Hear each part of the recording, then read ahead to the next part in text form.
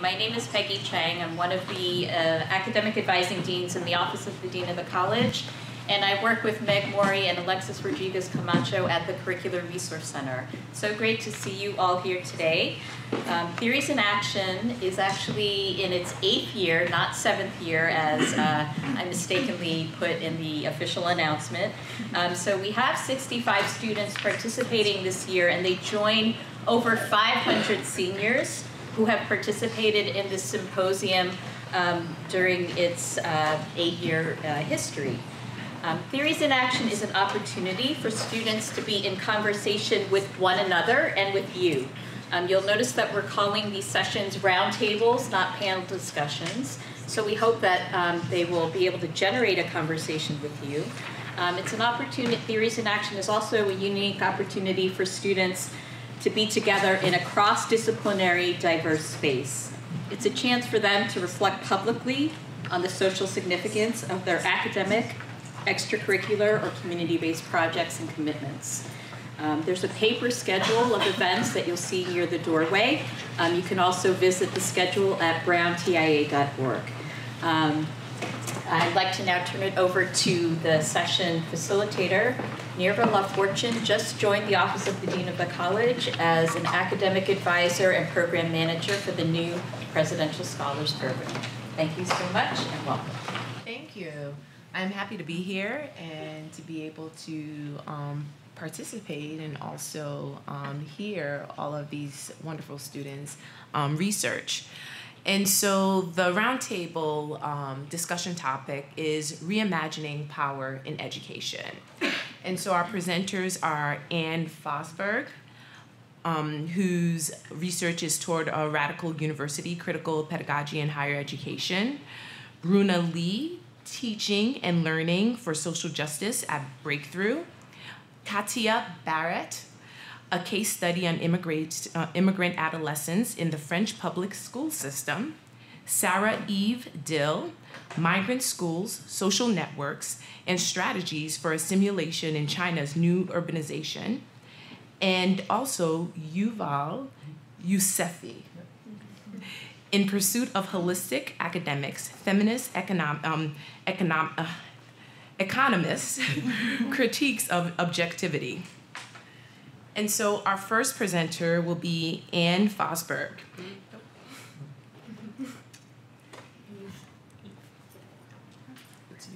No. Eve, okay. We're in the order of Okay. Um, Sarah Eve Dill. Okay, so our first presenter will be Sarah Eve Dill. I apologize for that. Um, Sarah Eve Dill is a graduating senior in development studies. Her research focuses on rural to urban migrants and the effects of urbanization on legal and social categories. This presentation is a product of 15 months living and teaching at a school for migrant youth in Beijing, China.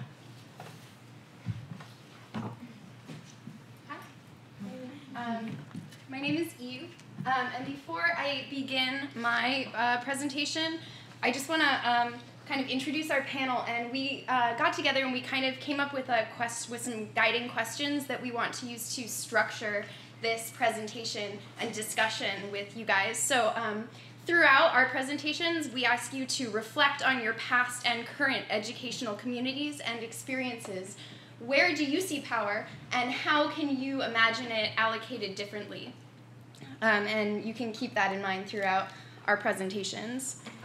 So, my presentation is Migrant Schools, Social Networks, and Strategies for Assimilation in China's New Urbanization. But um, really, what this title doesn't say is that my, my research, my thesis in this presentation is actually focused a lot on space. So, to begin, I'd like to uh, start with a discussion on one specific space.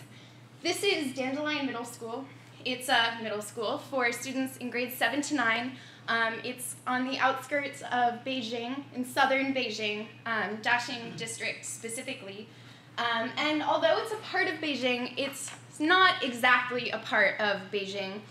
Dandelion Middle School was formerly a light switch factory, and now it serves migrant students um, who are not legally allowed to attend public schools in Beijing. And as an institution set up specifically for migrant students who are seen as outsiders, it also reinforces their social segregation from the city. Um, and I saw that in particular in some of the ways that teachers and administrators um, interacted with students. For example, I saw one teacher tell a group of new students, You are not a part of Beijing. And that made me wonder what does it mean to really be a part of Beijing then? Um, so this research is based on 15, uh, 15 months of ethnographic fieldwork and interviews um, at Dandelion Middle School. And I explore space, social networks, and how space structures social networks, and also how space structures migrant families' strategies for social mobility. Um, and my research is trying to present these strategies as migrant families see them um, and as they interpret policy and policy changes. Um, so, to begin, I want to talk about why migrant workers even have these spatial issues in urban China. And that really gets to the rural urban divide, which in China is organized by the state and legal policies. So we have this household registration system, also known as the hukou system, and that divides people into urban and rural. Urban people have formal employment. Um, formerly, it was guaranteed for life, formal employment, and with that comes formal housing and a lot of social services, um, education, healthcare, etc. Rural people, on the other hand, have land rights, and they mainly engage in subsistence farming. Their land is their livelihood, and their land is also their social safety net um, in the way that employment and housing are urban people's social safety net. Now, urban people and rural people both have access to social services like schools and hospitals, but they only have access to those in their hometowns, in their local spaces. And also because rural people generally live more spread out and um, there, there are fewer people, there are also fewer and worse quality services. Um, so that's something definitely to consider. Um, and there have been two ways of looking at migrants in China um, and around the world. First, um, mobility as among migrants has been seen as a form of marginalization. So migrants are outsiders, they're not a part of the formal economy and they're not a part of formal society and their their mobility kind of marks them as having this marginal status. And we see this also in like the United States too in the case of undocumented immigration where we see like undocumented people as transient as and as like not deserving of social services the way that citizens who are localized in the space are viewed. Um, but there's another way to view migrants, which is as um, structuring their mobility in a way to maximize the benefits to themselves and their families. So, for example, migrants who have land rights in their hometowns may have some people stay at home and engage in farm labor while they go and work for wage labor in the informal economy. And this is a way for them to maximize their household income. And it's actually like a really beneficial strategy for many migrants. And it's not considered in a lot of immigration policy or migration policies in China or in other countries um, where this also happens. Um, but at the same time, urbanization is happening and it's changing people's lives kind of whether they want to or not. Um, and rural people are being forced to become urban whether they want to or not. So this is a picture of Beijing, and we can see that there are like six rings um, and generally, the um, formal employment, most of the mainstream economy goes in, on inside within the uh, first four rings. Outside of that is uh, mostly informal migrant communities and farmland and stuff like that. But this area is urbanizing quickly, and China has recently come up with a major plan to integrate Beijing, a city nearby, and the surrounding province, which is mainly rural, into one large urban area. And that also involves um, like connecting a circumference of about a thousand kilometers um, through like railroads and subway networks and stuff like that. Um, and there, and this is um, creating this peri-urban area where rural areas are quickly giving way to urban expansion. And this has two effects. First, rural people are being displaced. They're losing their land to make way for urban expansion, and they're not necessarily being given the urban entitlements that come with um, growing urban space, like formal employment and formal housing. Second, we see new pathways are opening for rural people, like migrants and like displaced people, to assimilate into urban environments. However, these pathways are really complicated and circuitous, um, and we see more and more that formal employment is replacing citizenship as a basis for entitlements, as a basis for social services. So it's not necessarily that you're an urban resident anymore. It's about being employed in urban areas. Um, so this is uh, a list of occupations of families at Dandelion School. And we see from this list that families have a huge variety of outcomes economically within Beijing. They're like entrepreneurs, they invest in businesses, they start their own restaurants, they work with each other, they're employed by each other but at the same time, they're all part of the informal economy. And this really structures adult migrants' experiences and ideas about their, their children's future and their own future. Because they're all informal, a lot of their business is really precarious. Um, they face a lot of limitations by the government on what kind of work they can engage in. They find that their um, spaces are continually being encroached on with urban expansion and demolition and stuff like that.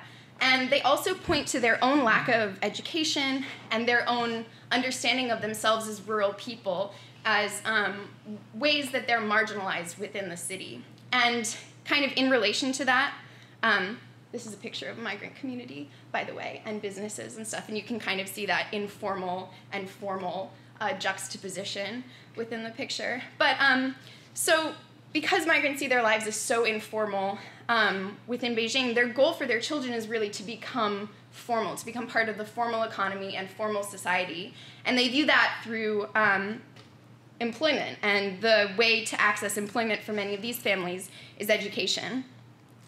And with the growth of the peri-urban area, we see that there are new spaces that are allowing people to engage in new pathways through education to get to formal employment. And um, this kind of explains the two pathways in both cases, we see that families come from their rural hometowns to peri-urban areas like migrant communities in Beijing or in surrounding Hebei, and they start businesses, they start homes, and they send their kids to school. But when it comes to high school, uh, based on the legal requirements they, that they have to face and all of the different things that they have to navigate, we see that some people choose to send their kids back home while they keep working in the cities, while others send their kids to new high schools that are just beginning to allow migrant students to enter them. And this is where places like migrant uh, schools in Beijing, like Dandelion Middle School, take on a great amount of significance because these schools are mediating migrant students either integration into these new um, urban and urbanizing environments or their returns to rural life and possibly eventually into migrant labor because the bar from to jump from rural to urban is much much higher. So how do families decide which pathway to pursue? Um, well, that depends on social networks, and in particular, the relationship between space and social networks. So, um, I really like this picture. Um, this picture is of uh, students at Dandelion Middle School, and it has arrows connecting them back to their hometowns. And this really shows the social nature of space and social relations. I mean, a lot of these students have family members. Oh, sorry, I'll wrap it up. A lot of these students have family members who are still in their hometowns, and they have uh, their families have uh, some land holdings, perhaps. They have connections that are both social and spatial. Um, and that's a really important part of their decision making, these ties that they have. And we see people who don't have these ties don't look at their hometowns as an option to return to. They don't see that pathway as available, and they really struggle to find a, a pathway in the peri urban area. Um, and migrants, in addition to their hometown connections, also have connections in these communities, these workplaces that they develop in Beijing. Migrants with stronger connections in this area are more likely to try and stay in Beijing and try to go to these peri-urban schools because the information that they're getting has more value when applied to this um, peri-urban space. Um, and this is for adults this is their enclave communities and for youth this is like the peer-to-peer networks that they have at sites like their schools um, so in the case of dandelion middle school we see a lot of students are socialized within this space to one another um, and they want to stay there um, in addition, migrants also have connections to locals and assimilates in Beijing, particularly through Dandelion Middle School, which is a formal institution, and it's one of the only sites where migrants are actually communicating with people who are formally employed in the mainstream economy of Beijing. And then finally, um, migrants have connections to locals and assimilates in peri-urban Hebei. And this actually is closest, this form of connection is closest to the connections that migrants have to their hometowns. So this first relationship, migrants in their hometowns, and the last one, migrants and locals assimilate and assimilates in peri-urban Hebei, are most significant in structuring how they receive information, how they value it, and how they make strategies um, in relation to it. Um, and my main findings from this is basically that migrants with stronger social spatial ties to their hometowns choose to return home because they know more about this option and because they value the, spa- the spatial opportunities of their rural social ties. Their rural networks provide detailed information pointing both to pathways and to examples of successful urban assimilation through returning to their hometowns. However, migrants with strong social spatial ties to their destination, which is to locals um, in Beijing and Hebei and to assimilates in Beijing and Hebei, as well as to other migrants in their communities in Beijing, they use their social ties and these resources to strategize instead for going to peri-urban pathways of assimilation, to attending peri-urban high school and hopefully college.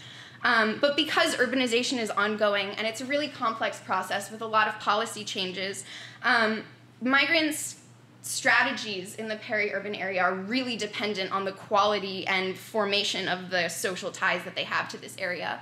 And in some cases, we see that migrants who have weak ties, maybe they only have ties to Dandelion School or they only have ties to one relative in this area, when policies change, this is when their strategies begin to fail. And that's where we really see the importance of social ties coming in and the spatial nature of these social ties and how they structure migrants' relationships to the places that they uh, occupy, live, and work in. Okay, thanks very much.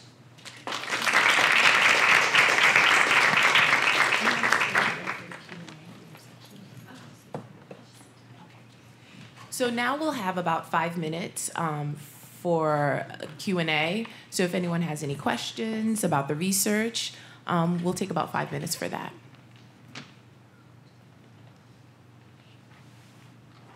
How did you get interested in this topic?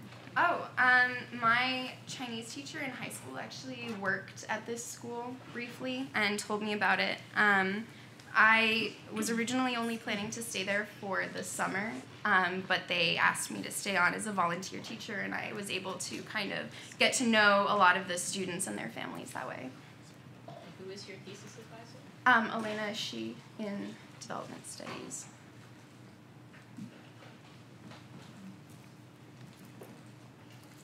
Did you have a question? Have a question. Are, are you going to present, have you, or are you going to present the, your findings to like administration at the school or anybody related to Oh, yeah. That's actually a really good question. I am planning to, um, I'm hoping to send a copy of my thesis back to the school, but I'd also like to present my findings in a way that um, can help the school better structure how it provides information to students and their families so that they have information um, with enough time to make really informed decisions for their kids. And also kind of work with the school to um, help them or maybe to influence them to see students as more active agents because right now a lot of the social networks that form between like people at the school and migrant families are adult networks. And then when students are the primary decision makers, they actually lose out because they don't have access to these networks. Any ideas of how do you want to make that more like stu- talk to students more? Oh, oh yeah. Um, so I think that um, there should be a lot more like information exchange going on between students and teachers in the classroom. A lot of students, like the, the teacher is kind of the center of the classroom in um, Chinese schools, and the students just like listen or only respond when the teacher kind of actively tries to engage them. And so I think that teachers really need to open the space to kind of let students ask questions and have a dialogue with them about their opportunities and the choices that they should be making and where the information they're getting is coming from and how they should kind of interpret it and apply it.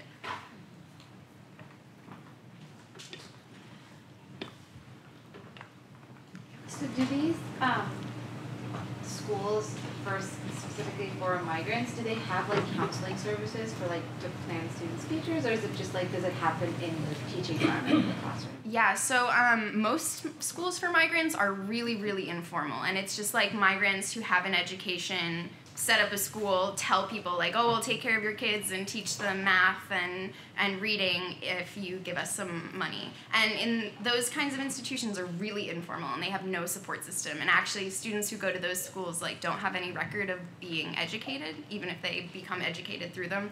Um, Dandelion School is a little different because it's a government accredited institution, so it's a formal school, and that's also why these pathways are available to students and things.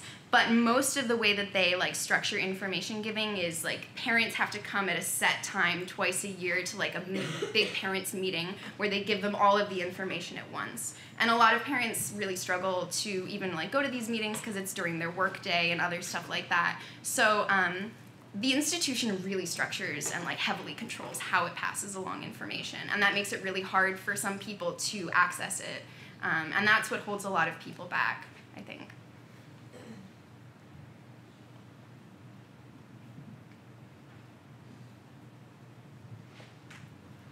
oh yeah Um, can you?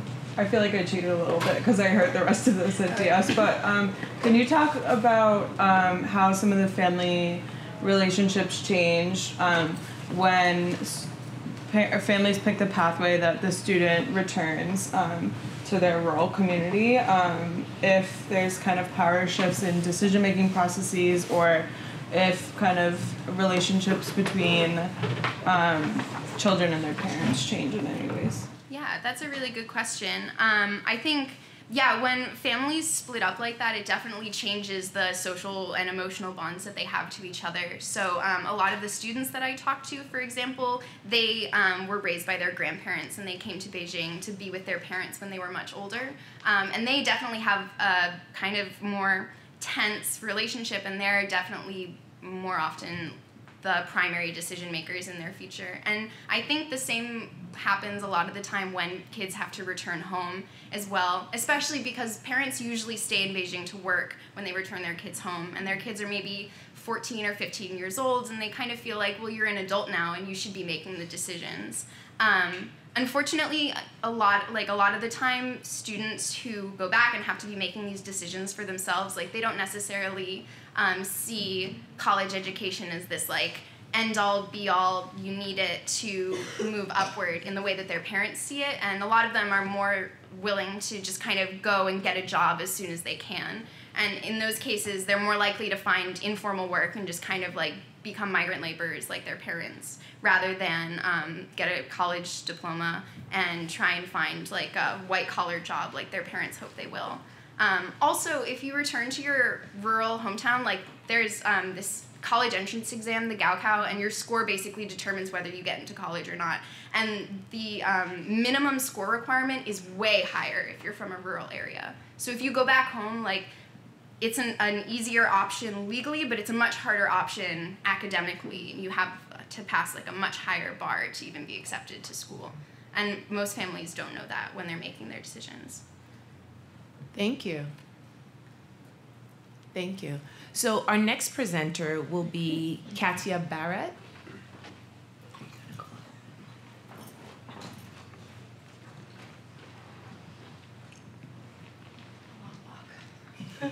So while she, she's walking, um, Katya is from Port Washington, New York, and concentrates in education studies and comparative literature. She has spent most of her time at Brown thinking about learning and teaching in different contexts, including as a four year BRYTE tutor and as a teaching assistant for a GED class at the Rhode Island ACI. Her research focuses on understanding youth as educational experts and on the gaps between policy and practice. Following graduation, Katya will teach English for a year in a high school in Strasbourg, France, before returning to Brown to pursue a Master's of Arts in Teaching. So I'm going to be talking about my education studies thesis today, which is a case study on immigrant adolescents in the French public school system.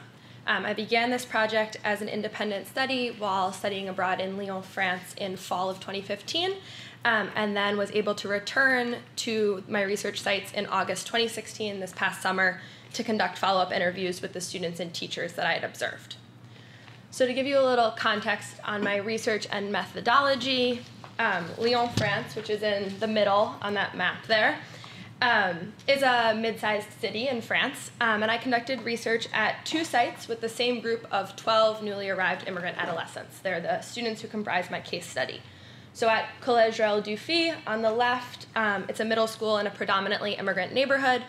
I observed these 12 students in class. And the way the French school system works for newly arrived immigrant teenagers on the middle and high school level is that they spend their first year in the system in a self contained reception class um, focused on learning French and then are put into the mainstream school population. Um, so for the entire 2015-2016 school year, these 12 students were spending six hours of every eight-hour day with one teacher in one classroom learning French. Um, and the 12 students were themselves incredibly diverse. They spoke 10 languages among the 12 of them. I also conducted research and interview at the Ados Community Center, which is pictured on the right here. Um, it's an organization that provides after school tutoring and activities for youth in this neighborhood. Um, and these two educational institutions go about their work with the same group of students in really different ways. So, having these two research sites, as well as my two research phases, um, interviewing and doing observations both during the year itself and after it, allowed me to get to know these 12 students and their world more fully. Um, so, in terms of my specific aims for this project and the reason I was interested in it, um, I was thinking a lot about how immigrant youth and immigrant boys and youth of color in particular are often portrayed in the French media and in the current French political discourse as freeloaders, delinquents, rioters, and more recently and troublingly as potential terrorists. And I wanted to counter this narrative um, by talking about how even when these youth are experiencing challenges in school, which many of the 12 students in the study were, um, and even when from time to time, as middle schoolers are ought to do, they are being challenges for their school, they were also thinking really deeply and thoughtfully about their education and the experiences that they were having in school in the day to day. Um, so throughout my project, these youth, um, the 12 in general, and I focus in five uh, on five different students in particular, are the educational experts. They're those people who can tell us how policy is being translated in the classroom, how curriculum is interpreted and felt, um, and how tests are received. So I want to focus on one student in particular who hopefully can reveal what can be gained from taking youth voice seriously um, and from explicitly including marginalized youth in conversations about educational systems and their functioning. Um, so in the fall of 2015, Ahmed, who is one of the students in that picture that I probably shouldn't tell you which for like privacy reasons, um, was 13 years old. He is of Algerian and Moroccan origin. Um, he was a new resident of Lyon, and it was the first time that he had been fully enrolled in the French school system. He spoke fluent Arabic and he was also very proficient in French. Um, so he was able to use those linguistic skills to translate for his peers a lot of the time, as well as for his family. Um, and he was a leader in the class. Um, he was always one of the captains for after school soccer matches. He was also immensely clever and quick on his feet. Um, one anecdote about that um, is that because he spoke some French, the teacher often called on him to fill gaps in the conversation in the classroom or when no one else like knew what to say or understood what she was asking. Um, and one day during a unit on food vocabulary, she uh, said, Okay, Ahmed, get us started. Um, when you get home from school, what food do you ask your mom to make for you? And without missing a beat, he answered in Arabic, much to the like giggles of his classmates. Um, and when the teacher just looked like so confused, he said, without missing a beat, well, I don't speak to my mom in French, so why would I answer that question in French? um, but despite all of these really incredible attributes um, and being a really just lovely 13 year old boy, he was having a really hard time adjusting to the French school system. Um, he was frequently in trouble with different teachers and administrators. Towards the end of the winter um, in 2016, he was threatened with being held back. And his individual experience um, is really actually very reflective of broader trends of how North African immigrant boys in France, in particular, um, are disadvantaged within the school system. So, to give you a sense of just some broad statistics, in 2015, a study found that 43% of North African immigrant males repeated a grade, um, as opposed to 17% of French born males. And 28% of North African origin boys eventually drop out of school before the end of high school. So that's more than a quarter of that specific population. And I think it's pretty straightforward to see how that will have significant repercussions, both for that population in, um, in specific and for the health of French society as a whole. So both as a immigrant, newly arrived immigrant student in general, and because of his particular identities, Ahmed is a student who it was clear that the French school system is not doing a very good job educating or incorporating. The school knew that, his teachers knew that, Ahmed knew that. Um, so I thought it only made sense to ask Ahmed what he thought that his school could be doing differently. And yet, in our first interview, when I asked him how he felt about his school, he was bewildered. Um, and I cannot replicate his like mocking voice that just like knocked me down eight pegs. But he repeated my question and said, How do I feel about school in France? What does it matter? Um, and I want to make it clear that, as hopefully my next slide will show, this response didn't come from the fact that Ahmed didn't have strong feelings about his education, um, but rather it's an indication of the fact that many marginalized youth, um, and I think youth who don't speak the language of a country fluently or have been told that the way they speak that language is invalid, internalize the belief um, that their voices are not invited or important in conversations about larger systems and their functioning, um, which is why I think that while I'm sure all of us agree that youth voice is important, it's important for me to make that explicit as a primary argument of this thesis. Which leads me to the first of the central findings of my thesis, which is that youth of all backgrounds and language abilities have the capacity to make essential contributions to conversations about educational systems and their functioning. Across the board, um, and despite kind of the dubious responses of many teachers who were questioning why I was choosing to interview certain students, whether or not the students in this study could properly conjugate their verbs or negate a sentence really had no bearing on the validity of their opinions about their school system. And then the next two findings are specific to the Ahmed section of my thesis. Um, so when he talked about French schools um, and how he felt about them on a day to day basis, Ahmed frequently talked about how he didn't feel like there was space for him. He observed how, in the way that classes were structured and class rosters were assembled, in the way that after school programs were advertised, there seemed to be a clear dichotomy to him between French students and outsiders. And as a student who identified as Algerian, Moroccan, Muslim, and French, he was really unsure of where he was supposed to fit in that dichotomy. And as a result, and I think a pretty rational reaction, he often just chose to take himself out of the situation, either by acting out and causing teachers to remove him, or just by not attending after school programming and tutoring that he would have benefited from um, in general.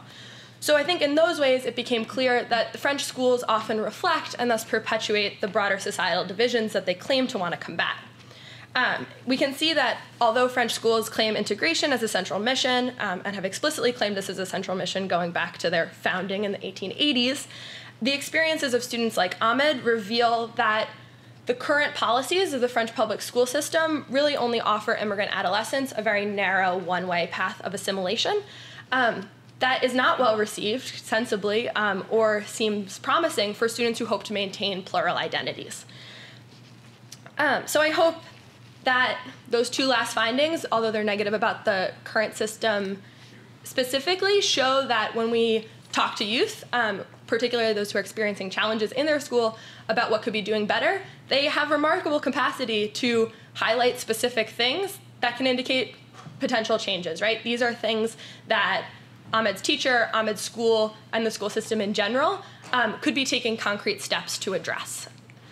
So, above all, I hope my project shows um, that despite the fact that youth, like the 12 students who make up my study, are often stereotyped and disregarded, they actually are educational experts, um, and that they demonstrate why, both in the French context in specific, um, but in, I think, all national contexts more broadly, that youth should be included in policy discussions um, as experts in about the schools that they attend.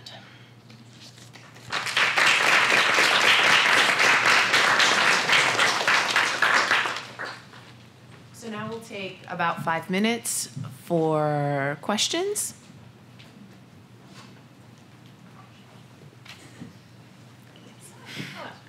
Uh-oh. um, well, actually, I have two questions, but let me start with the broader contextual question. So, uh, when you think about integration policies in France, um, so what the I think to be a caricature uh, of a kind of response here, I think um, if a French teacher or official was here, they would say that integration is the most successful mechanism for um, addressing potential societal conflicts that come when people act out their differences in the public sphere, right? So, sort of different than the American concept. Um, and that their proof is, in a sense, prior success. That they point to other groups. And one of the most conser- socially conservative things you'd hear these days from, or even reactionary things you'd hear from the far right, is it's specifically Muslims who are failing to integrate, but others in the past have done so. So I guess I'm wondering how you would respond to Le Pen and, and that side of the political spectrum in light of your findings uh, around cultural specificity. It's a big task. Uh, but I think one thing that my that the students um, in this study spoke to um, in pushing back against the idea that other groups have successfully integrated into France in the past, and thus you should be able to also, according to this model, um, is that the French model of um, promoting difference blindness um, runs into a barrier when students are different in ways that are never going to disappear, um, be that the color of their skin or visible um, religious manifestations. Um, so I think uh, one of the other quotes in my in my thesis um, by Ahmed talks about how um, his school is going to tell him that he's not an immigrant the next year when he's no longer in this class. But if French society is always going to view him as an immigrant, um, then what is he supposed to do? Um, so I think that the argument um, that other groups have successfully integrated, if the if the points of success in that are white European Jews um, or Italian and Portuguese and Spanish immigrants after um, World War II, who just more physically resemble the majority French population. Um, I'm not sure that that is a model that is either realistic to the challenges that France faces today, um, or at least is one that the students themselves don't see as realistic. So I think um, similarly to how Eve talked about how there's the need for more exchange between teachers and students in the classroom, I think that there just needs to be a more sh- kind of explicit discussion about what both sides of this divide think immigration should look like and some type of compromise. You actually answered my second question, which was about race. Beat you to it.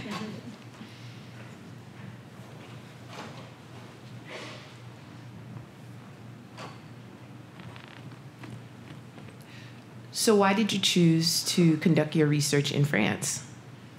Um, I I wanted to study abroad in France because I had taken a lot of French literature classes here and kind of for totally disconnected reasons. Um, and then once I had made that decision, I thought it was important for me to think about how to maintain um, the interests and engagements I have here, um, particularly working with English language learners um, and thinking critically about the way that our education system functions for them um, while abroad and not uh, kind of ignore those aspects of a new society I was going to be in. Um, so that was kind of the impetus for um, getting involved with the community association that I talked about through tutoring, um, and then speaking with people there, um, and and hearing some of the students' complaints about their educational system made me more interested in looking at it from an academic point of view. I have a, another question, a methodological question, just about. Um, I was interested in what you said about him, how he took you down. I think you said eight pegs. um, I'm wondering. Um, so one of the things, so I'm a historian, as you know, and one of the things I've really struggled with is oral interviewing, where I found like I, I found it very challenging, and I read a lot of the methodology on it, but never really felt like I hit my stride with figuring out how to get people to answer exactly the question I was asking. Um, so I was curious just a little bit about how your own thinking evolved around the methodology of um, ethnographic observation, conversation, uh, in order to get where you wanted to go? Um, I think an important part of my methodology and a part that facilitated those types of conversations um, was that I was also working as a tutor um, and like after school programming volunteer at this community association. Um, so getting to hang out um, and interact with either base, through basic French tutoring or basic English tutoring or just playing soccer through this this organization um, on a like twice a week basis, kind of for two months before I started trying to do interviews, which I think was really useful in allowing me to prove myself as an ally to these students um, and to their families as someone who was going to take what they had to say seriously um, and as someone who wasn't going to to judge them for not conjugating a verb correctly because probably half the time I wasn't conjugating the verbs correctly either. Um, so I think that relationship building before entering into interviews um, didn't make all the interviews go totally smoothly, but at least gave me and the interviewees a foundation where um, if it was heading in a direction that I was confused by, or similarly, if I asked them a question that they didn't think was relevant, um, at least gave us a, a foundation on which to discuss the interview and what we were both hoping to get out of it together, as opposed to kind of a, a stranger dynamic. Thank you, Katya. Thanks. So our next presenter will be Bruna Lee.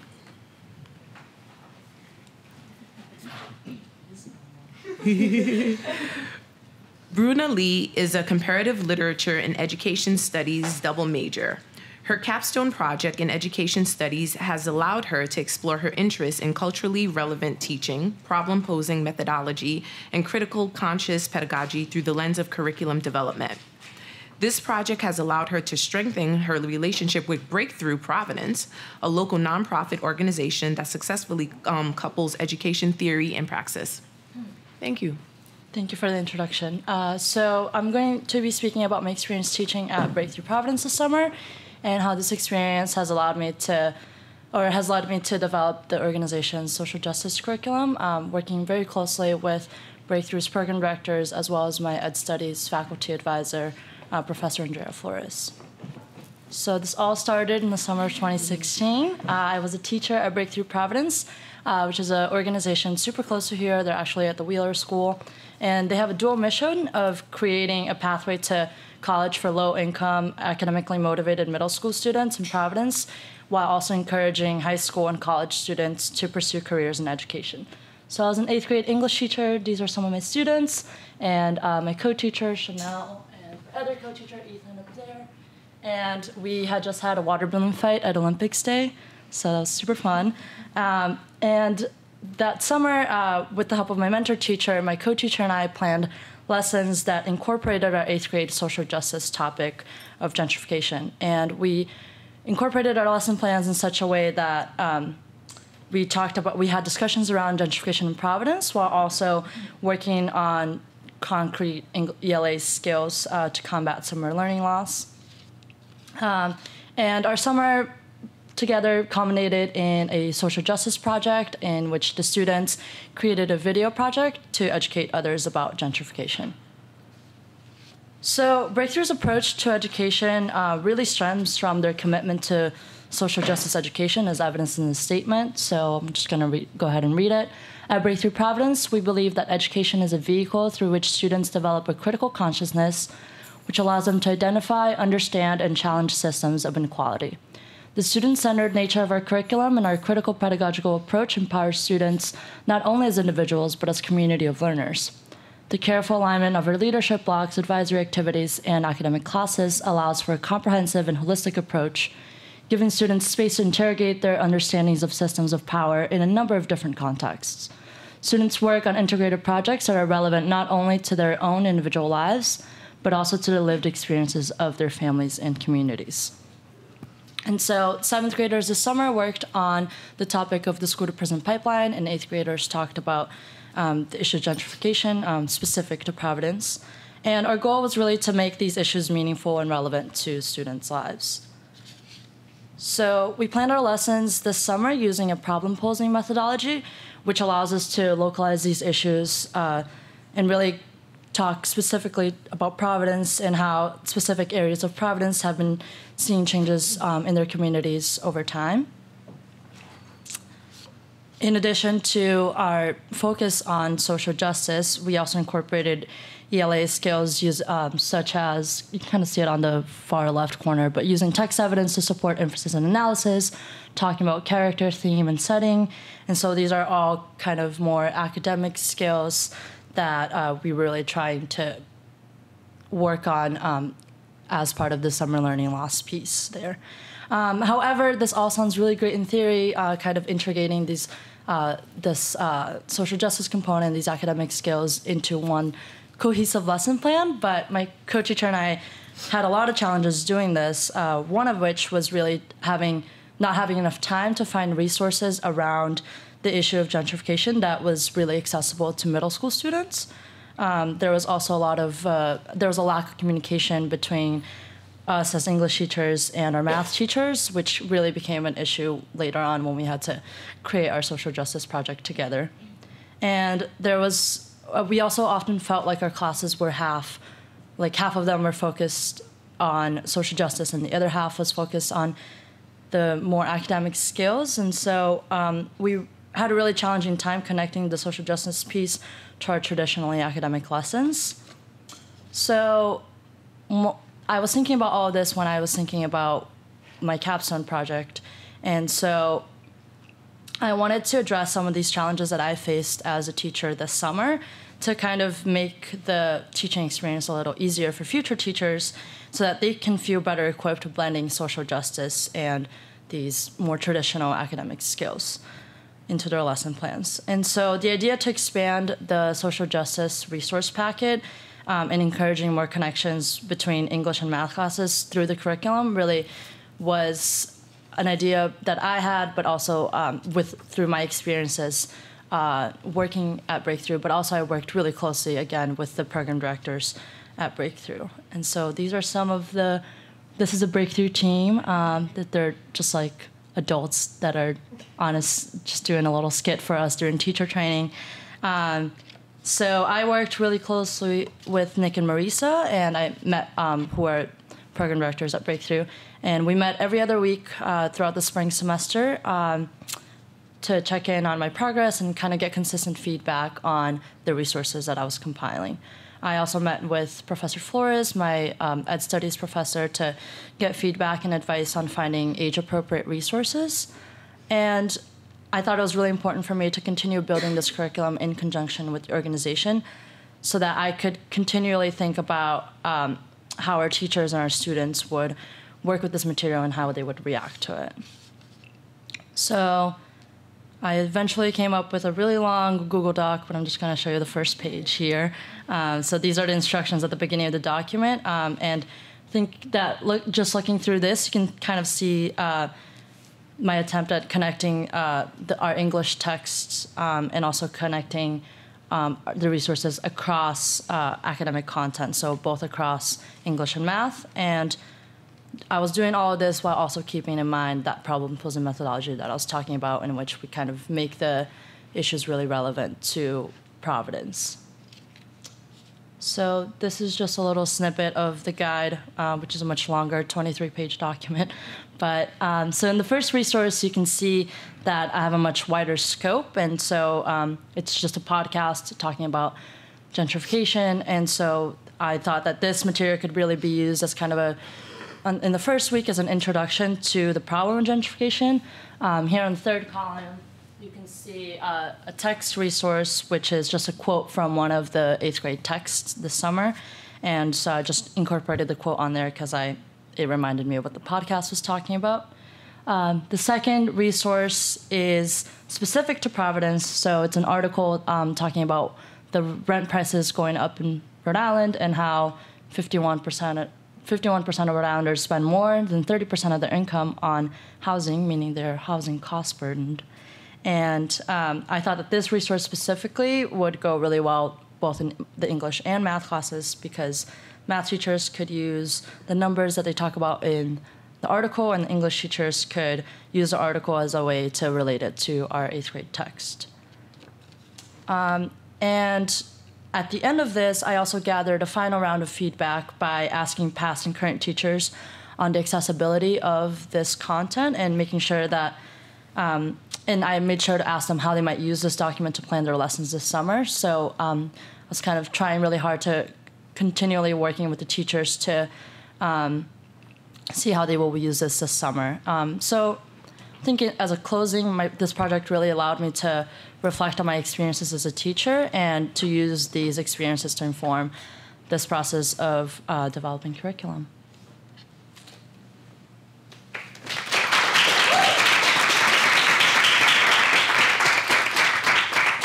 We'll now open the floor up for questions.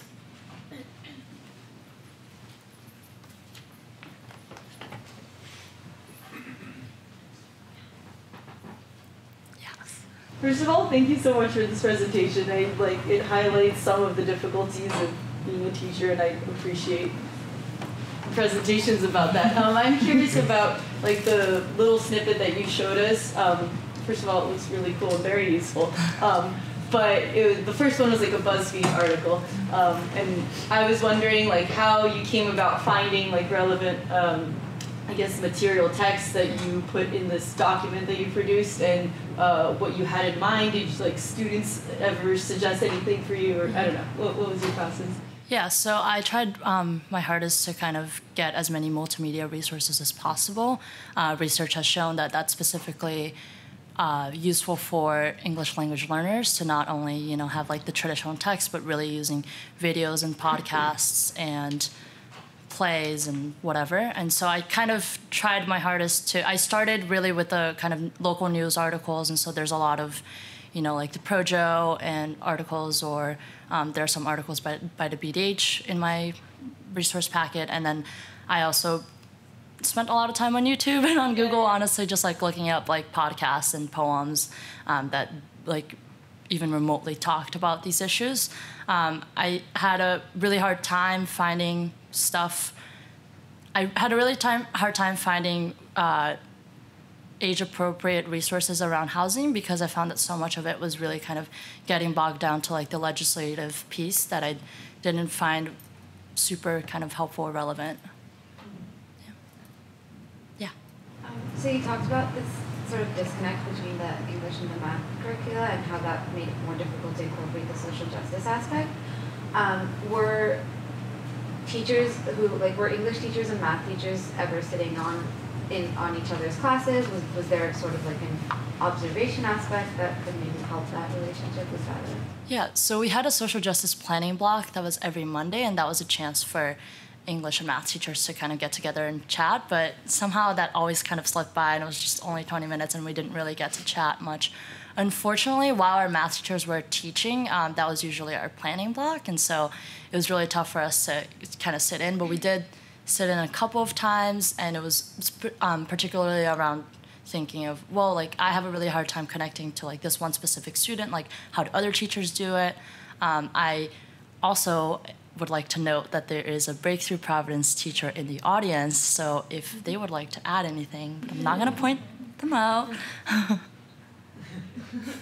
but feel free yes how did you construct or define what age appropriate means when doing this work, especially considering, like in the context of English, there's people at different reading and writing levels um, entering the space, so to make it both challenging and engaging for students, but also not.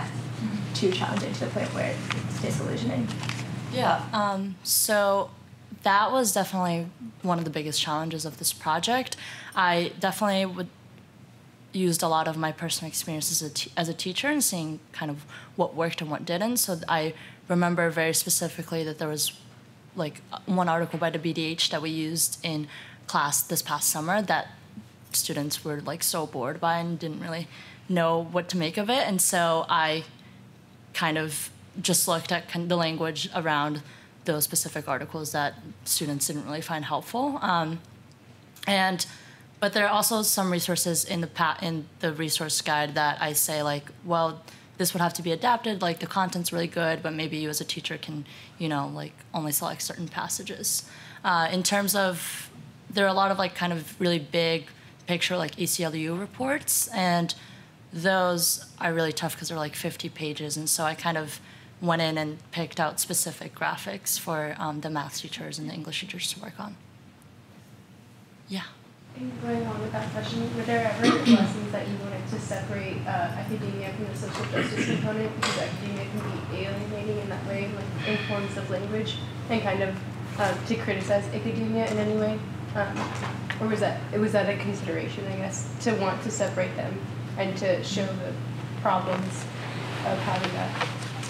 Yeah, I mean, I would say that I tried my hardest to not make this super like traditionally academic in the way that like we might see in some of our classes here at Brown. Like, um, so there, like there were definitely you know like I ran into some dissertations or like some longer papers that talked about gentrification in Providence, for example, and I purposely didn't include those um, and preferred rather to incorporate kind of other sources of media that also are valuable and that students might not really see in their classrooms. Um,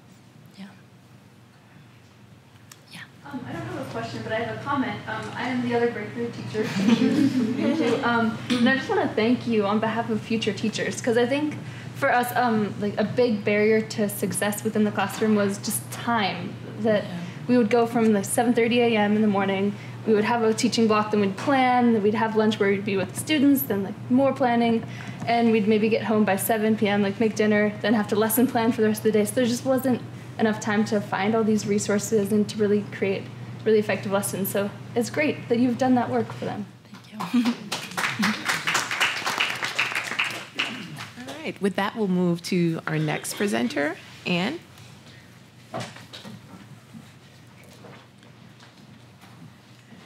Anne Fosburg is a first semester senior concentrating in an IC in critical pedagogy. She's originally from Park City, Utah, and began studying um, critical pedagogy after taking a series of independent study courses in experimental education models. She hopes to teach in some capacity after graduating from Brown, but does not know yet in what context it will be. Uh, thank you.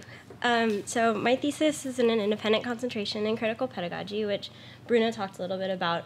Um, it's an educational philosophy that holds that education is inherently political um, and can either reproduce or dismantle dominant narratives and structures of power. Um, I'm working on finishing my first chapter of my thesis, which is a narrative history of higher education done two ways.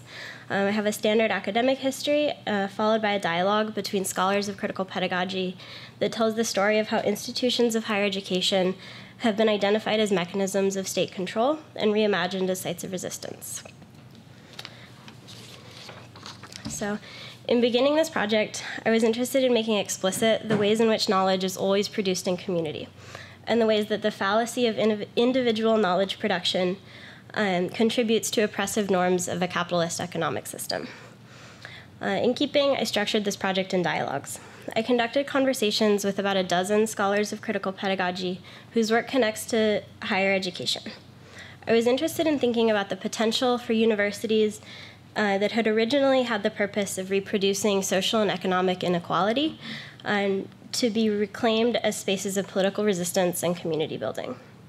After transcribing these conversations, I rearranged them into a continuous narrative of resistance, which wove together disparate voices and my own analysis.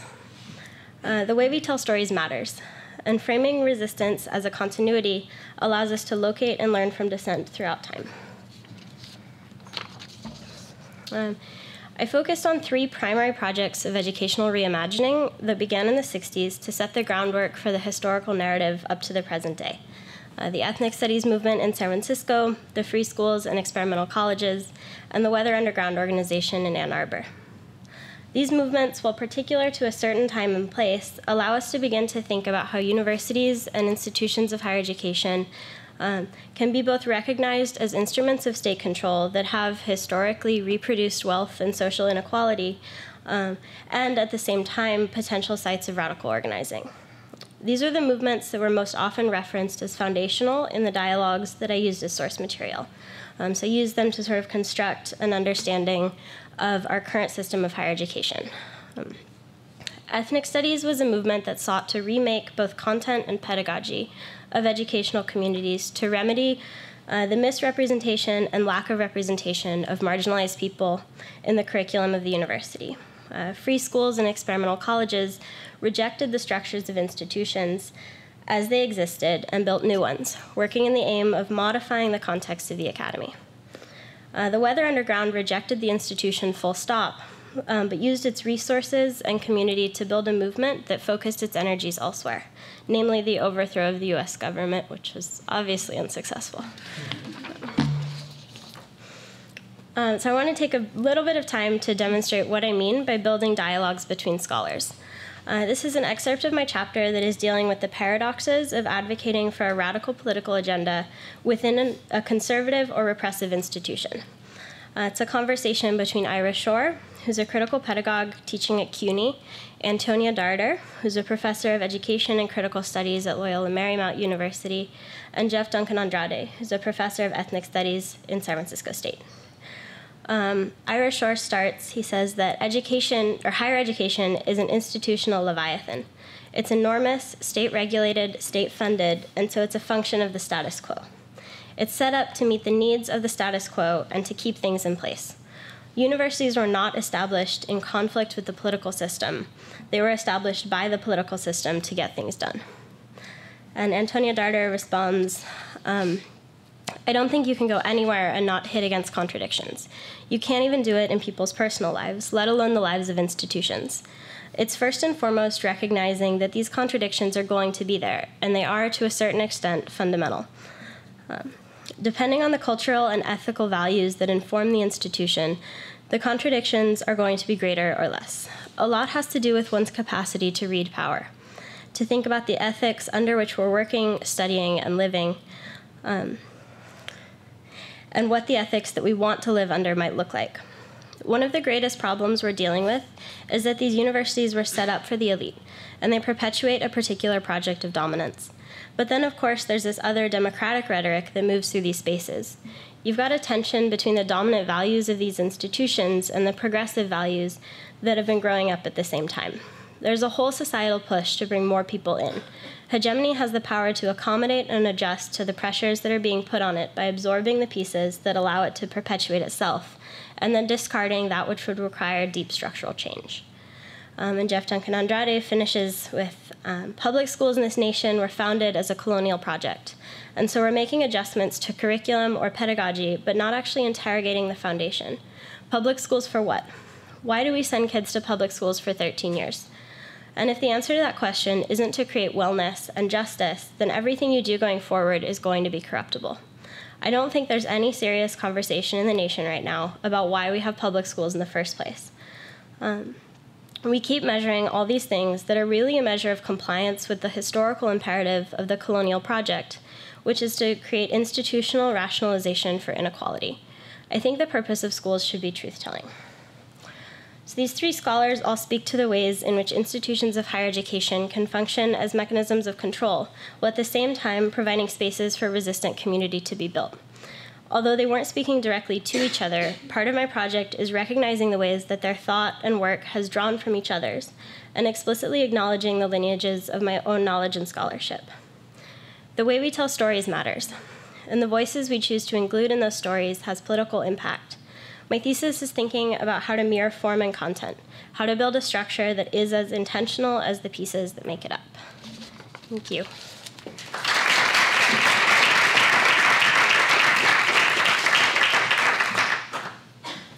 Thank you. So we'll now open the floor up for questions. Um, are you able, I know it's still works, but are you able to include people who are outside of the university setting in the dialogue? Yeah, so I've been talking with uh, everybody who will sit down with me. Um, there are conversations with students, um, with people outside of the academy and within the academy, and also people who engage in educational pro- like projects that wouldn't necessarily qualify as like academic exactly, um, like overlapping projects of education and social justice.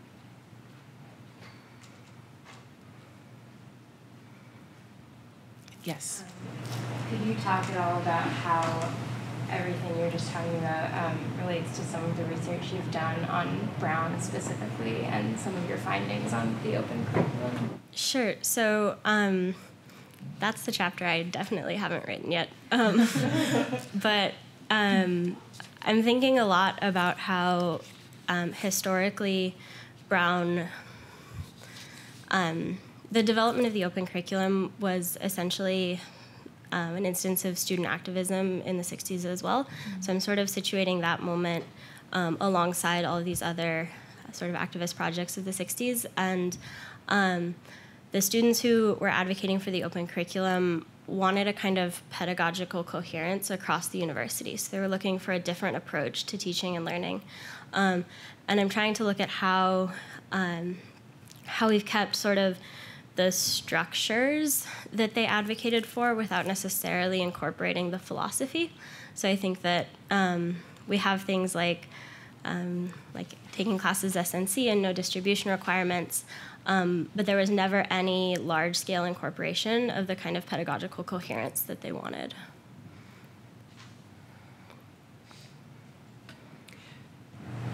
Structurally, so you have the 60s mm-hmm. foundation, you have the chapter that you spoke about, and you have the ground chapter. Are those the three? Are there more? Are there other?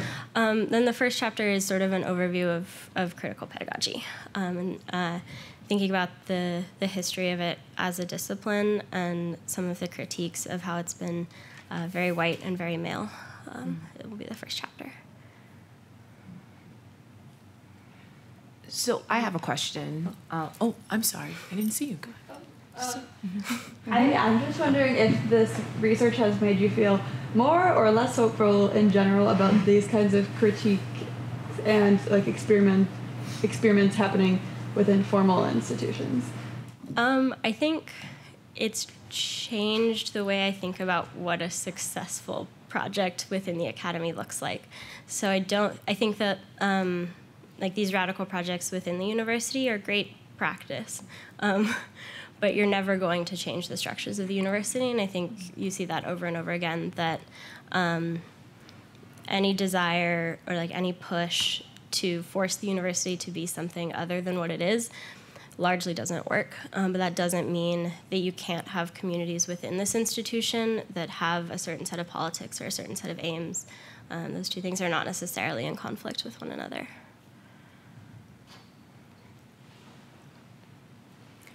My question was, can you see these experimental models being implemented out um, in possibly like the high school level, and how it would probably develop more students to be, um, you know, more socially aware? Mm-hmm. So, one of the reasons I decided to stick with higher education Mhm. is that um, we see critical pedagogy as a project being taken up in K through 12 education quite a bit, actually. So, there are a lot of these sort of uh, educational experiments happening um, on the high school level, and you can see it. Um, I don't know, a whole, whole bunch of different contexts. Probably not on it's not being implemented like full stop in the public high schools. But um, I was interested in thinking about higher education because I think we almost there's a lot less scholarship around pedagogy in the university than there is around pedagogy in K through 12 education.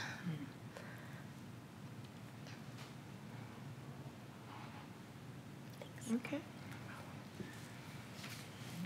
All right, our next presenter, thank you. Our next presenter is Yuval Yossefy.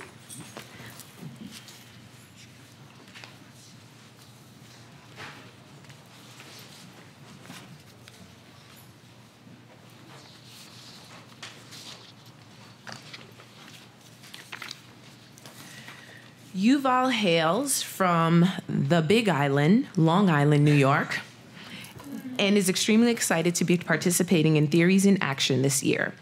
At Brown, he concentrates in history of economic theory, an independent concentration that studies mathematical economic theories within their historical, social, and cultural contexts. Following dra- graduation, Yuval will begin a two year fellowship with the Venture for America, which connects recent graduates to opportunities in cities with emerging entrepreneurial um, ecosystems. Thank you so much. You. So again, yeah, my name is Yuval. Um, and just to give you a little bit background on myself before I jump into the project, uh, I am concentrating in a concentration that I've designed for myself called the History of Economic Theory, which basically looks at how we study economics, both uh, mainstream economics and how that's evolved, but then also looking at critical theories that try to kind of poke holes um, and look at what can be changed and what might be uh, worth revising within the mainstream. My project uh, specifically focuses on feminist economics, um, which is a critical theory, and specifically at the cohort of feminist ec- economists that uh, did most of their work in the 80s and 90s. Um, they critiqued economics for uh, adhering to a, a view of objectivity that was overly masculine, that separated economics far too far from the empirical empirical reality of like real economic life. Um, so that's that's what my project is on. Today, uh, I'm not going to get too bogged down into their specific arguments. They can be a little bit technical, um, so I'm going to just cover them briefly and then hope to uh, explain really their implications for what we might see in a in a kind of idealized or a changed uh, academic discipline, how they how those um, how those could co- follow through. So. Uh, we can begin by looking at neoclassical mainstream economic theory today. Um, and note that it's a fairly narrow focus um, that they choose to take in studying economic life. And I actually like to start actually with economic methods and how they, uh, what feminist economists like to argue about um, when looking at that, because uh, the methods that economists tend to use are those that uh, you know uh, operate in terms of kind of a physics envy, kind of a, a desire to scientific to make economics more scientific, um, which itself, in and of itself, that argument is rooted in masculine causes, um, ideas of reasoning as uh, you know logical and uh, you know scientific separation and detachment, uh, ensuring that we are kind of value free when analyzing a situation in that economics uh, shifted and continues to shift more and more towards solely using mathematics, mathematical modeling, and statistics to study economic life. Now, these methods are deeply important and they're very useful in a lot of contexts, but when you uh, narrow your focus to only include these methods, um, it can be dangerous. And specifically, in narrowing uh, and only using these methods, the economists have excluded a whole set of more qualitative methods, oftentimes associated with femininity in our, uh, in our society uh, methods like historical analysis, ethnography, interviewing and surveying uh, subjects, and also you know participant observation. Um, methods that are extremely important to the study of any uh, of any area, especially that of a social science and of economic life. Um, one specific point to be said there is that uh, mathematics and statistics, again, going back to the, the attempt to be value free, um, because it's a very logical and abstracted language, mathematics itself, it gives the appearance of being value free and neutrality. However, if you scratch the surface, which we will in a moment, uh, you can see that these uh, notions of value free, um, they are not true. And in reintroducing qualitative methods into the conversation can help us be very much more intentional about the values we're using um, and kind of our starting assumptions. So, this use of mathematics and statistics, of course, has implications in economic theory. And when in the 1870s economics started to shift over towards mathematics, uh, they also uh, began to change the content of their view, specifically only looking at uh, markets, economic markets, pricing, money, all of the things that tend to lend themselves very easily to mathematics, the language of numbers. Um, in this, though, we lose a lot of the distinctions between uh, human needs and human wants, and how that changes how we operate in economic life. Um, the way that when we go and purchase a good that we need, uh, the thinking and our behaviors that go into that kind of decision are going to be different from when we are going to purchase something that we want. Um, and that has a very important implications for how we in our own economic life also interact with the natural world and its resources that we use uh, continuously. And that again, that shift again uh, shows kind of a shift uh, towards uh, masculine bias and uh, or masculine uh, conceptions of economic life, um, going away kind of from uh, connection with society, connection with nature, which are traditionally associated again with femininity, um, and moving towards a more masculine, ordered, uh, you know, very clearly exchange. Everything can be easily exchanged on the market. These are all kind of more masculine uh, approaches to economics. So, given these critiques, we can look at what a new economics could look like ideally. Um, and in such a such uh, an, an idea, we would want to look at uh, restructuring of disciplines not by method, which is what has very much happened in economics, as they focus on mathematics, but on subject matter, restructuring disciplines by subject matter, and that would give uh, you know economic study an ability uh, to really include a variety of methods and a variety of viewpoints that creates a much more holistic study.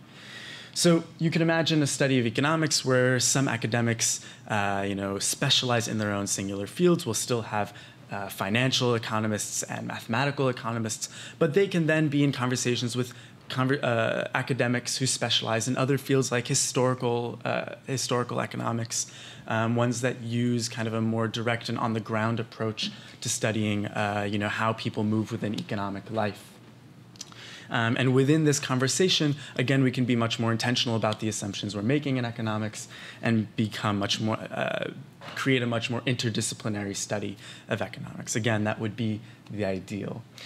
I think it's also really important to mention that while my specific focus, my specific study um, is within economics, and that's my personal, uh, you know, expertise, um, this uh, argument can be applied to disciplines throughout the academy. And in fact, it actually came out of uh, arguments that began in philosophy, but then also uh, moved through the sciences themselves, critiques that had applied to biology, physics, uh, ecology, and then from there were picked up and brought into economics. Um, a really good parallel, a really good example of such a, of, uh, you know, this type of uh, work done in the sciences, for example, since that's a little bit tougher for some people to kind of wrap their heads around from the beginning. I was imagining kind of health sciences and looking at, you know, you're uh, trying to understand a certain set of patients' symptoms and their experiences with a certain set of diseases.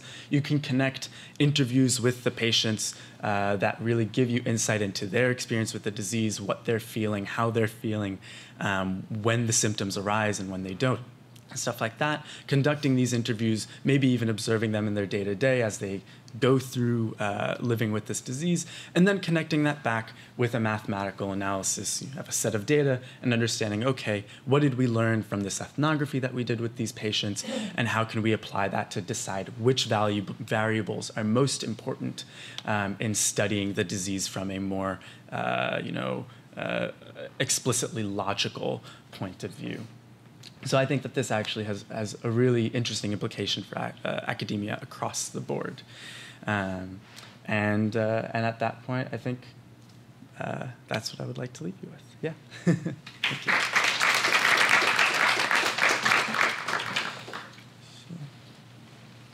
put the framing question back up. So before we circle back to the framing um, question, I wanted to open the floor up for any questions for Yuval. Just want to um, say specifically before the framing question, Yuval, that was fabulous. Thank you so much. I felt like I learned something, and it was really cool for me to hear your presentation juxtaposed with Anne's.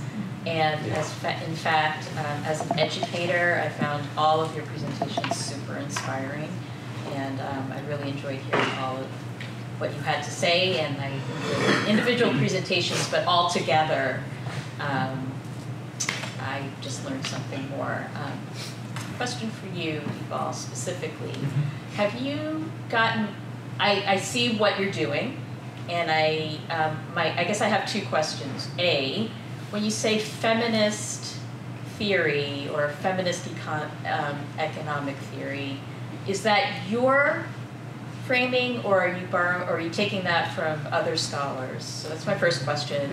And then whether or not it's yours eh, or other scholars, have you gotten any pushback on that? Yeah. Um, because it's kind of a binary, right? Definitely. Uh, yeah. So. I, so I can definitely address this. So first of all. Uh, my project in, in, and of itself is a type of historical analysis, and it's looking specifically at uh, feminist economists who uh, kind of defined themselves. They had in this in this specific moment had actually uh, began to organize. They created their own academic journal. They created their own academic um, organization. So they very much defined themselves in that moment. Um, but these are economists working in the 80s and 90s um, and have since definitely experienced a lot of uh, deconstructivist feedback or, or critique um, kind of looking at their use of binaries and dichotomies and understanding gender. Um, and I definitely think that those critiques are well worth uh, attention. That said, I think that a lot of the implications that come from their work are still um, worth listening to, um, looking at the ideas of, um, you know, how we can create a more inclusive academia um, that seeks to really understand each of the you know the positions that we come to and the biases that we come to when conducting research, um, and specifically, I'm sure I, I, wouldn't be surprised if other people have come across this as well. But they they really champion standpoint theory of you know recognizing your own place uh, upon approaching a research uh, research project, recognizing your own biases, um, and then engaging with them with your work. But yes, they have definitely um, encountered that criticism. Um, and unfortunately, I'm not deeply familiar with their current um, or with the range of current uh, theories that come out of feminist economics to see how they responded. Yeah.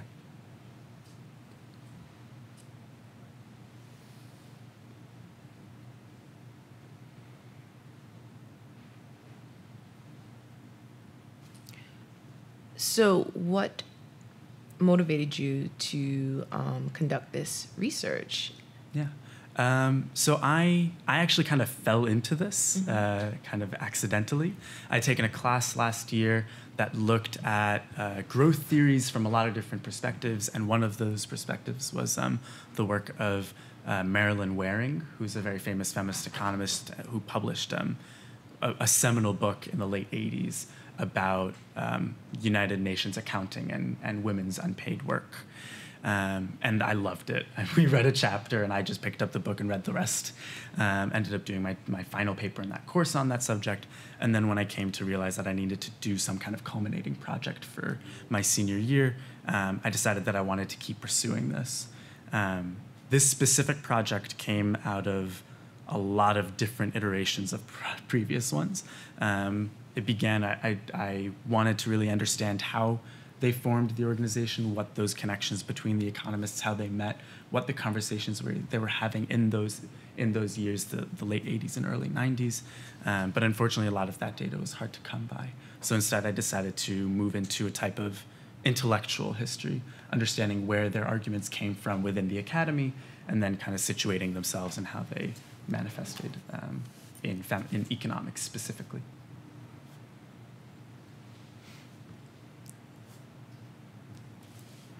Um, given your framing question and what you all presented on, I'd be curious to actually turn this question back on you. Um, not only vis-a-vis uh, your positionality in doing the projects or theses that you did, um, so you know, working at Breakthrough with communities of color, uh, American in migrant rural China, you know. But also to think about what Brown is trying to do regarding diversity and inclusion. Um, I'd love to hear your thoughts on that as well. Uh, all of us, or Anywhere, Oh, okay. Well, I can I can pick it up. Um, feminist economics ec- economics for me was a very um, you know it was very it was a project that was very uh, distant from me when I first encountered it, especially as a, a white man who grew up a very privileged life. This was not something; these were not arguments that I necessarily came into contact with until really last year. Um, so I think that was a really important question that I've kind of grappled through both implicitly and explicitly at different points in my project, kind of figuring out how I wanted to study this given my extreme separation from uh, from a lot of, or apparent separation at least in the beginning. Um, I think the way that I kind of grappled with it and really figured out how how I felt best about it was really just to keep an open mind, um, consistently read everything I could, uh, argue these concepts with people around me, both ones that are you know well versed in the topics and not, um, and just you know.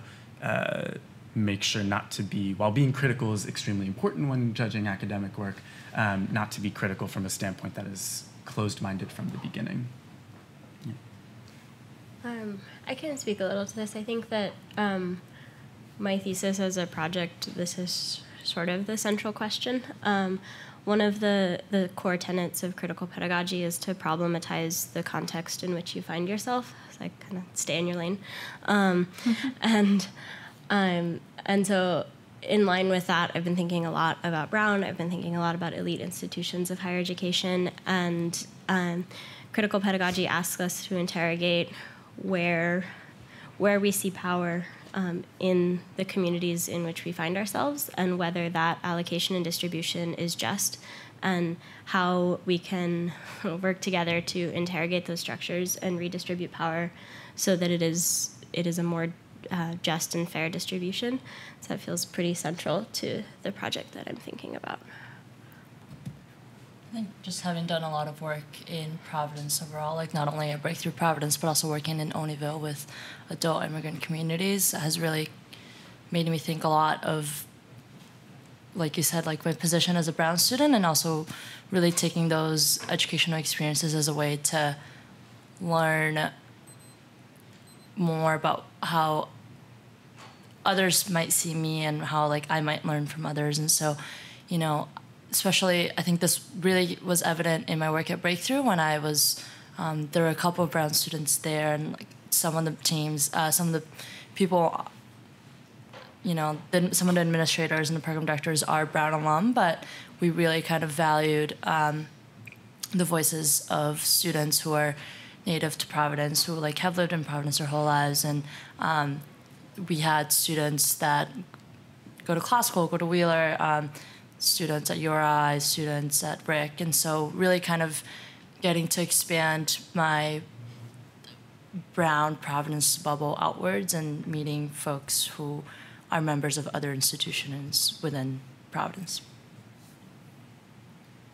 Um, I think one thing I think about in terms of power, both for my project and just generally in terms of like teaching middle schoolers, um, is what is understood as like acceptable exertions of power versus unacceptable, um, and how like discipline often is is determined upon those lines. Um, and I think right in schools where we see power concentrated in administrators um, and in the curriculum and not in students.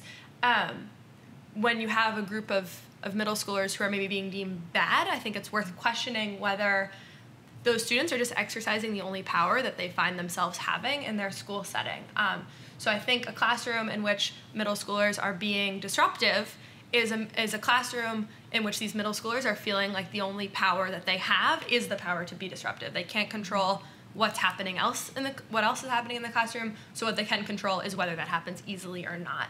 Um, so I think that's something I think about and I'm imagining going forward is how to use those opportunities as um, chances to reimagine how students can find other avenues of power in the classroom um, so that we're not funneling students into situations um, in which the only chance to exert power that they have is one that's deemed unacceptable. Yeah, um, I think uh, my own research definitely uh, found similar kind of things um, in terms of power um, and space allocated for students within the institution in the same way that Katya's did. Um, I think I, I, already mentioned this a little bit, but I think also um, these institutions have a huge amount of power, particularly schools and stuff, in how they um, structure information and access to information for families, especially when they're immigrant families and maybe they don't speak um, the the language of the area as well, or maybe they don't they aren't literate in that language and other things like that. Um, and in those cases, like students really become the way that like these people with access to knowledge and therefore power um, share that knowledge with people who don't have as much access. Um, and that also becomes a way for these institutions to control the opportunities that people and groups may have. Um, and then to speak a little bit, um, and I don't know if I guess Katya, you're the only other person who did like international research, and I don't know if um, this is similar for Katya's um, experience, but I found that as an American in China, it, it's actually like kind of difficult to bring critiques of the institution to the institution itself mm-hmm. um, when you're an outsider and you're trying to gather research. And especially with China because the U.S. generally like media representations of China are not generally very favorable, and Chinese people generally kind of know that and they see that, and so when you go as an American to a school like this, there's already the presumption that you come with with criticisms and with kind of prejudices against these institutions and the way they interact with people. Um, and for me, part of my research or like part of like integrating into the community that I found myself in was to like actively reject those um, ideas about Chinese people and Chinese society. Um, but then coming back to Brown, I kind of had to like reabsorb those ideas in order to create like a, a thesis based around Western theories developed like within Western institutions, and that's definitely problematic. Um, and I think just something that that people who do international research um, kind of need to think about more within the process of gathering research and in interpreting the data that we gather and presenting it to both people who are who share our backgrounds and also people who come from different um, experiences and contexts. You've just kicked it off by drawing a connection between our two projects. But um, one thing that we were thinking about a lot as we planned this panel um, was how our information, like our findings, instead of being viewed as silo, like are really actually interconnected, and hopefully are interconnected with some of the things that you all thought of when you were given this prompt. Um, so I think maybe one thing we want to like leave you with or make sure we hit before we, we end are some of the connections that we saw between our own projects. Yeah. Um, so yeah, I'll start off, and I kind of mentioned this already, but I think I, the big connection I see between all of us is that we're like talking about these relationships between institutions and people or groups, um, whether they're educational institutions, um, you know, primary school, secondary school, or colleges, or whether they're um, kind of disciplines and like uh, schools of thought and narratives um, contextualized in spaces. But they definitely, all of these institutions structure like the way individuals and groups understand each other and understand the wider world and they also mediate the way these groups present themselves and are represented to the world um, and in particular educational institutions like in my research and in katya's bruna's and um, anne's all of those have a lot of power in choosing how to represent the marginalized or whether they represent them at all um, and the space that marginalized, ha- marginalized people have to kind of um, express their wants and their needs. Um, and I think something that we've seen a lot is that a lot of these institutions structure the way they address the needs of marginalized people around the convenience and the wants of the institution itself. And that's something that you know I think um, all of our research is trying to uh, reject and speak against. Yeah, I think um, in addition to that, and um, talked about how education is inherently political, um, and I think that both Eve and my work bears that out um, in showing kind of kind of the flip side of the critical pedagogy or like the risk at the other extreme um, of schools really being institutions with the potential to reinforce and thus perpetuate societal exclusion. Um, and then on a, I guess, more hopeful level, I see a connection between my work and Bruna's um, in terms of thinking about how educational systems in general, but curriculum in specific, um, can be made more relevant to the realities of students' lives um, and the big impact that that can have. Yeah. I think just to add to that, I definitely saw a lot of connections with Anne and Yuval's projects in terms of um, having knowledge be produced or reproduced through community efforts and kind of like rethinking the way that we speak about some of the facts. Yeah, I, I also I see a lot of connections between the work that Bruna's doing and the work that I do. Um, I think that Bruna's project is is sort of an example of what the theoretical work I do looks like on the ground, which is very cool. Um, and I also see a lot of connections with um, what Yuval is thinking about in terms of the the political implications of certain discourses or academic languages and who they include and who they exclude, um, who's privy to speaking them.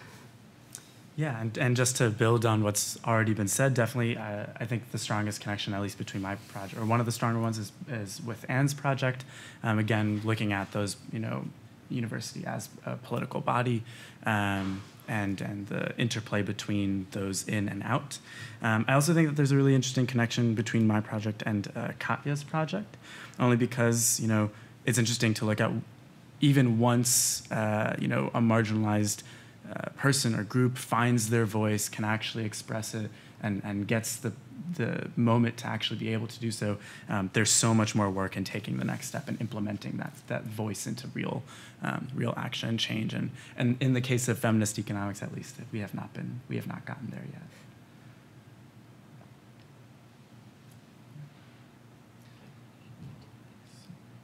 At this point, I guess we can open it up to any other questions or, or discussion from the audience, uh, if there are any others. Thank you. I guess we'll conclude at this time. Yeah, congratulations.